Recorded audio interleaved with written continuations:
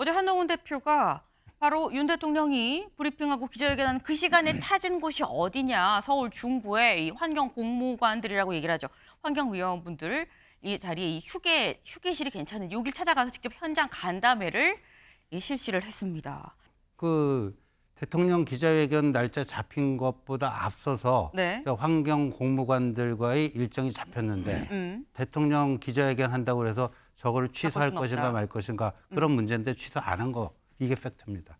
가급적이면은 대통령 국정 브리핑인데 그건 시간을 좀 조정할 수 있잖아요. 예, 너무 좀 그 속이 좀 보이잖아요. 그래서 좀 큰 정치, 좁쌀 정치 말고 좀 큰 정치 좀 했으면 좋겠다. 그나마 연찬회에서 제일 중요한 게 의정 갈등, 그 보건복지부 장관이나 교육부 장관 네.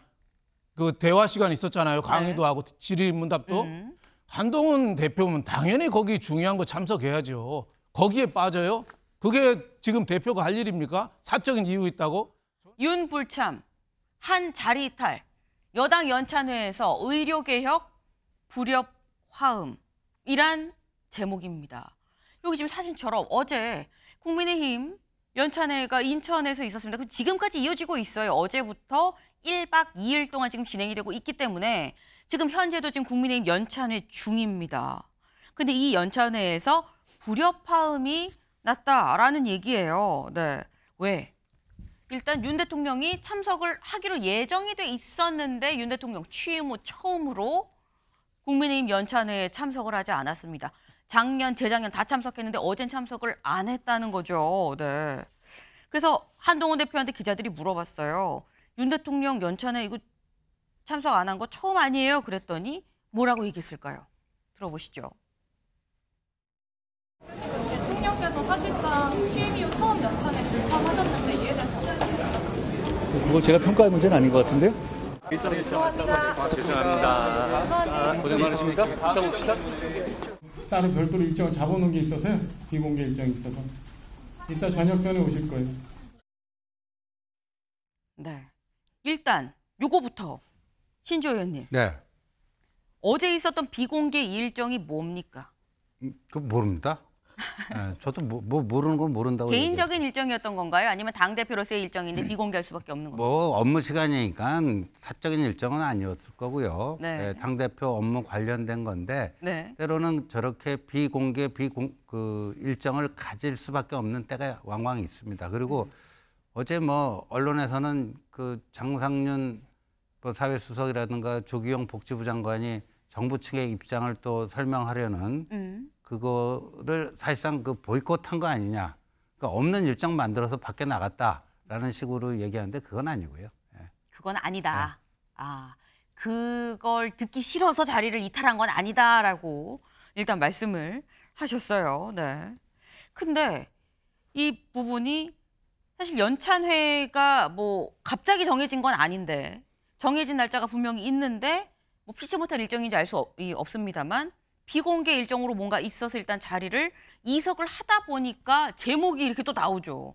윤 대통령은 불참한 자리에 한동훈 대표도 자리를 이탈하고 그러다 보니까 불협화음이란 얘기까지 붙은 겁니다. 이제 뭐 기자들 언론에서 대외적으로 보기에는 또 이렇게 보이는 거 아니냐라는 얘기인 건데 근데 지금 여기서 한동훈 대표가 뭐라고 얘기를, 이 얘기를 했느냐 윤석열 대통령 불참에 대해서 뭐 제가 평가할 얘기가 아닌 것 같은데요라고 얘기를 했어요.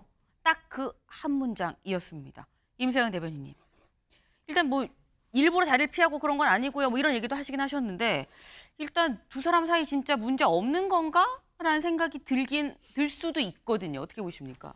그러니까 그동안 이제 한동훈 대표와 네. 윤석열 대통령의 관계는 20년 넘은 굉장히 돈독한 관계로 알려져 있잖아요. 그래서 사실 뭐 그 당시 뭐 불협화음이 있는 것 같았지만 뭐 사과하면서 뭐 마무리되는 그래서 약속대로냐는 얘기도 나왔지만 저는 이제 요 여러 가지 이제 사건들을 계속 봤을 때는 이제는 건널 수 없는 강을 서로가 건넌 게 아닌가라는 생각이 들어요. 건넜다. 물론 어제 같은 경우도 대통령께서도 뭐 브리핑하고 기자회견 하시고 일정이 뭐 분명히 있으셨고 그다음에 한동훈 대표도 뭐 여당의 당 대표니까 얼마나 일정이 많겠습니까? 그러니까 뭐 그 부분은 인정할 수 있겠지만 이게 참 묘하게 시기가 웃기잖아요. 이렇게 뭐 여러 가지 상황이 봤을 때. 그래서 네. 우리는 그런 우려를 할 수밖에 없는 것인데요.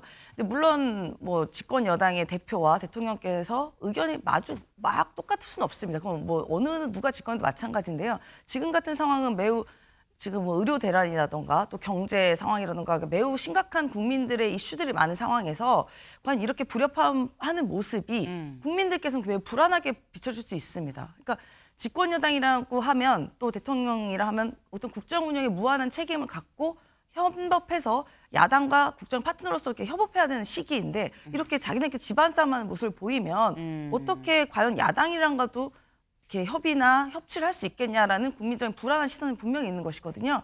그래서 저희는 뭐 두 분의 관계가 뭐 개인적으로는 뭐 기분이 나쁘고 할지는 모르겠지만 예를 들어서요. 이게 어쨌든 국정이라는 큰 그 대로를 보시고 좀 하루빨리 국민으로 들어가셔서 빨리 야당과도 협치를 하시면서 국정 운영을 좀 제대로 가셨으면 좋겠다라는 바람이 듭니다. 네. 지금 민주당 입장에서는 이게 좀 집안 싸움으로 좀 보이는데 집안 싸움도 좀 빨리 좀 다독이고 우리랑도 좀 얘기를 했으면 좋겠다라고 말씀을 하셨어요. 네.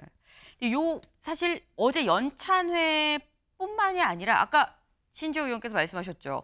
일부러 뭐그 정부 쪽의 얘기를 듣기 싫어서 보이콧하려고 자리 비운 게 아니에요. 일정 진짜 있었어요라고 말씀하셨는데 다음 기사 보실까요? 윤, 한 체제 첫 여당 연찬회 불참, 한동훈 회견 시간 따로 간담회. 어제 윤 대통령의 국정 브리핑과 기자회견이 오전 10시부터 125분 동안 진행이 됐습니다. 근데 딱 그 시간에 한동훈 대표는 다른 간담회 일정이 있었다는 거예요. 어떤 간담회인지 직접 보시죠.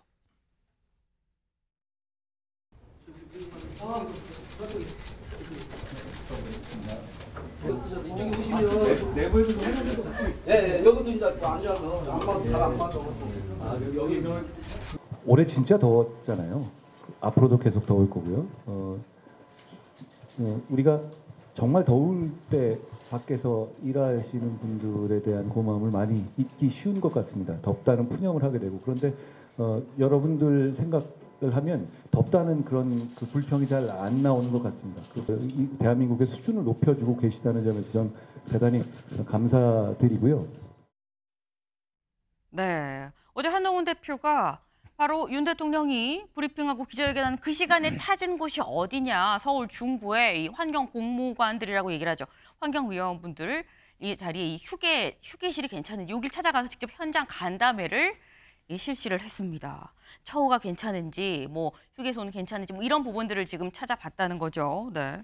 근데 물론 국정 브리핑을 뭐 꼭 실시간 라이브로 봐야 되는 건 아니긴 한데 사실 이거는 뭐 저희 언론도 그렇고 일반 국민들도 대체 대통령이 어떤 생각을 갖고 있는 거지라고 직접 얘기하는 자리니까 또 관심을 기울이고 많이들 또 찾아보시거든요.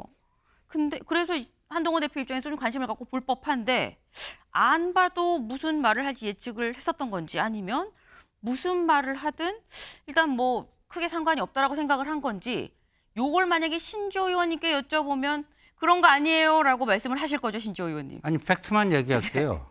그 대통령 기자회견 날짜 잡힌 것보다 앞서서 네. 저 환경 공무관들과의 일정이 잡혔는데 음. 대통령 기자회견 한다고 해서 저거를 취소할 것인가 없다. 말 것인가 그런 문제인데 취소 안 한 거 이게 팩트입니다. 네.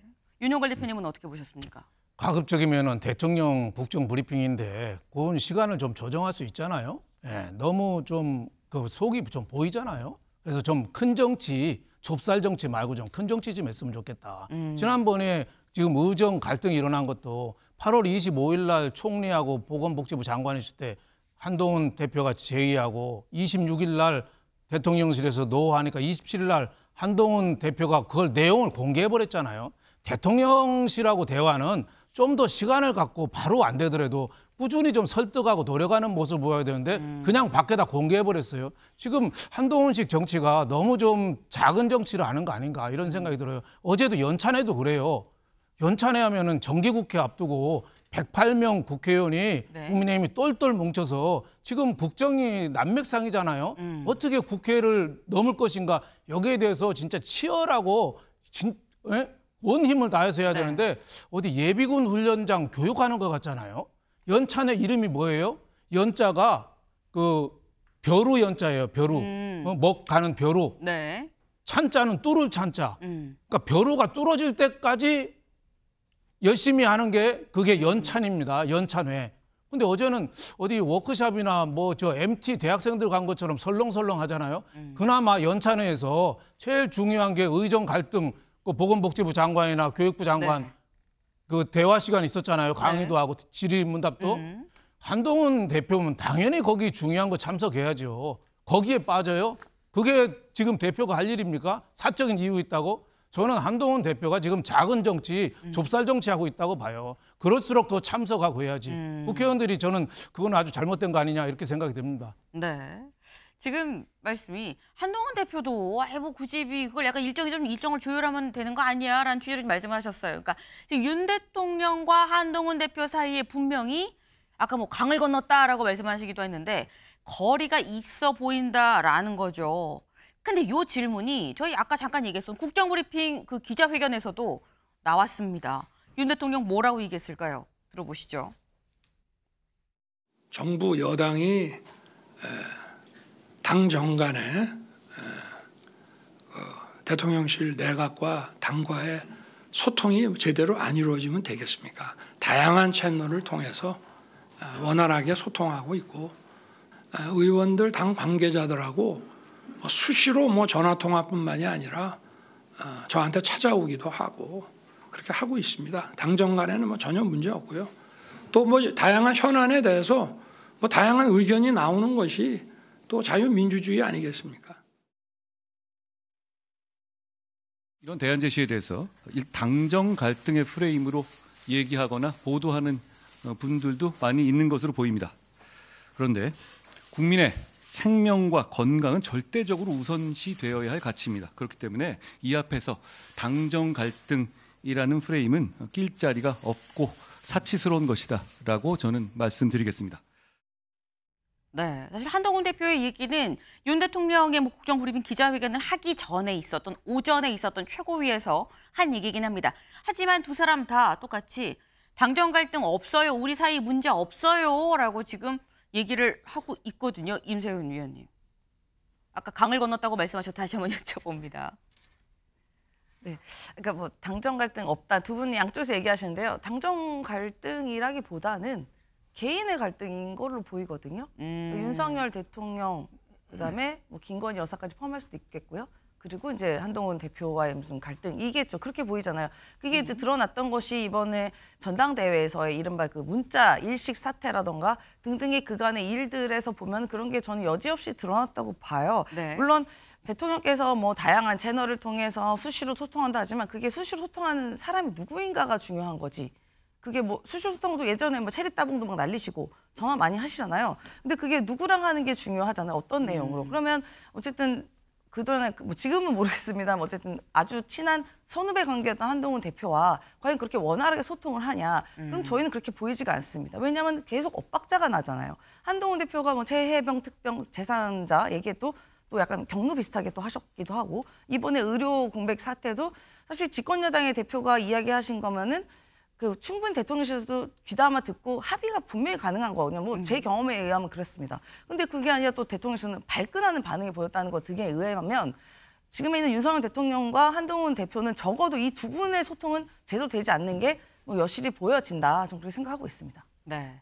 당사자들이 자꾸 아니다 아니다 얘기를 하는데 이게 뭐 당 정이라기보다는 그냥 대통령과 한동훈 대표 두 사람의 개인적인 갈등으로도 사실 외부에서는 보여지기도 한다. 근데 이게 맞는 거냐라는 얘기도 같이 하셨어요. 네.